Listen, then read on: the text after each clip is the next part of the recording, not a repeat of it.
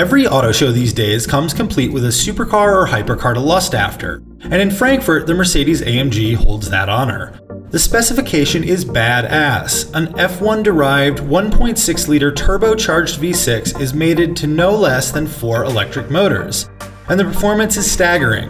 AMG brags of over a thousand horsepower delivered to all four wheels, though the plug in hybrid can also make up to 16 miles of all electric driving. The form and detailing here is pure performance as well. Carbon fiber wheels sit at each corner of the slinky, wind cheating shape. Cooling ducts and louvers that would normally steal the design show, however, play second fiddle to the impressively upright central fin. If one look is enough to sell you on the car, well, think again. All 275 copies of the $2.3 million car are reportedly sold out. Stick around for much more from the Frankfurt Motor Show, all found on Motor1.com.